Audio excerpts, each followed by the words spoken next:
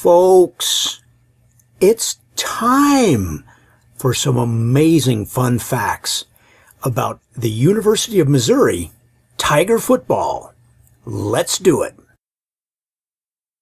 Folks, the University of Missouri Tiger football program started all the way back in 1890. Now, that was a crazy year. In 1890, John Owen broke the record for 100 yard dash when he ran it in under 10 seconds. 10 seconds?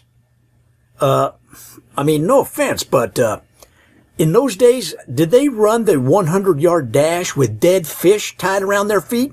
The Tigers were coached in 1895 by Clifford Douglas Pop Bliss, and he led them to a 7 to 1 record, their best record to date. Now, Bliss, when he was an undergrad, he played at Yale in their undefeated 1891 and 1892 seasons. During those two years, opponents did not score a single point against the Bulldogs. Well, uh, to be honest, uh, that's because we moved their end zone uh, to downtown New Haven. By the time those fellas got halfway there, they were just too plumb tuckered out to score. As of 2015, the Tigers have captured four Orange Bowls, three Cotton Bowls, two Sugar Bowls, and one Fiesta Bowl, and a partridge in a pear tree.